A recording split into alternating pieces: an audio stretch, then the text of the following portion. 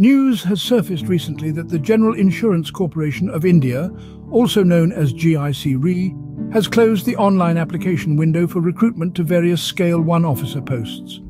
This event is of notable importance as it could have a significant impact on the company's operations and future growth. Looking ahead, there are several key events on the horizon for GIC Re.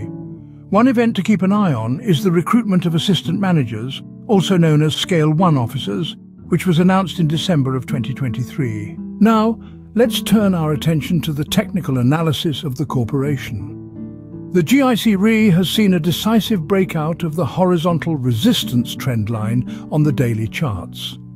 The stock has formed a robust, bullish candlestick pattern with strong volumes and traded above all key moving averages. This indicates a positive outlook for the company's stock.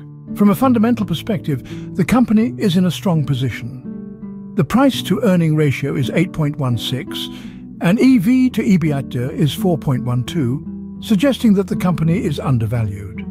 Furthermore, the book value has been trending up in the last three years, indicating a positive growth trajectory for the company. To wrap up, the General Insurance Corporation of India is showing promising signs both in terms of its technical and fundamental analysis.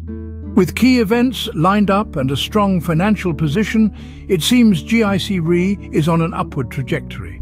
Remember, it's essential to stay informed and up to date with the latest developments in our ever-changing world.